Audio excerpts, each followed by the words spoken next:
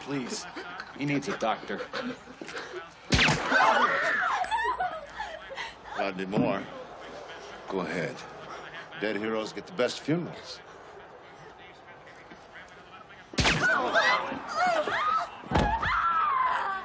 Thanks for your help, Andrew. His wife's recently deceased. He had been lonely without her. I hope that clarifies the urgency of this mission. Only your best behavior is going to be good enough. That agent's name was Eddie Kaline. He has a five-year-old boy, a three-year-old little girl, and his wife's pregnant. I'll send a card. What do you want? What do I want? World peace, an end to bigotry, and no more mini malls. What am I gonna get? And I am gonna get it.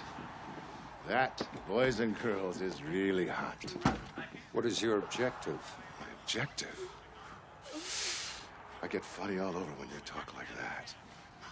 I know just what you're thinking.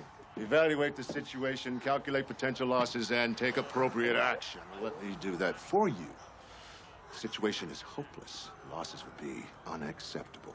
So the appropriate action is for you to do nothing and keep your fucking mouth shut. What kind of lunatic are you? The best kind. But you can keep calling me names if it makes you feel better. Throw me your earpiece and your mic.